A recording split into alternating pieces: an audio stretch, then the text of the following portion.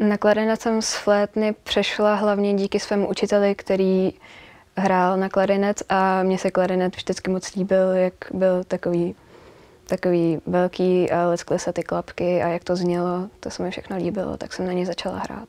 Oproti flétně má klarinet širší repertoár, širší rozsah a větší možnosti. A podle mě si ho zamiluje každý, kdo na něj začne hrát.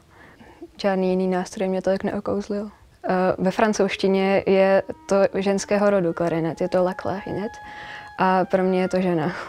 Myslím si, že se víc hodí, hodí k ženám. Nebyly okamžiky, kdy bych klarinet nenáviděla, ale byly okamžiky, kdy jsem s tím chtěla skončit, protože když se učíte na klarinet, tak je vždycky takové období, kdy vám to prostě vůbec nejde, strašně špatně to zní, pořád to skřípe a to byl okamžik, kdy jsem s tím chtěla skončit, ale nakonec jsem neskončila a jsem ráda. Chtěla bych hrát hlavně pro lidi, pro co nejvíc lidí a co, co nejlíp. Já bych ráda dokázala zahrát Mozartův klarinetový koncert, i když ten není úplně tak technicky náročný, ale spíš je těžké ho zahrát mozartovsky.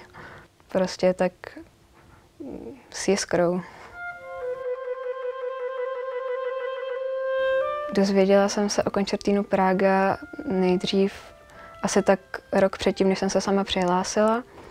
A přihlásila jsem se hlavně kvůli svému učiteli, který mi jakoby řekl, že se můžu přihlásit, tak jsem se přihlásila. No, nevnímala jsem to úplně jako klasickou soutěž, protože to úplně klasická soutěž není.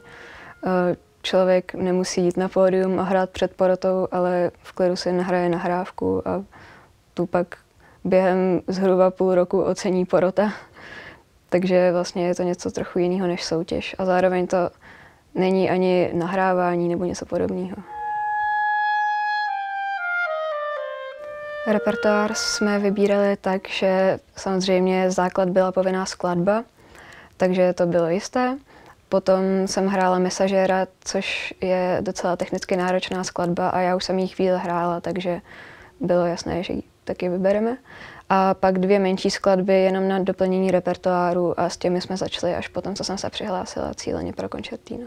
Výhra v koncertínu Praga je asi dobrá do životopisu, ale zároveň to určitě člověka posune dál hudebně a jak mi to pomůže do budoucna, to zatím nevím.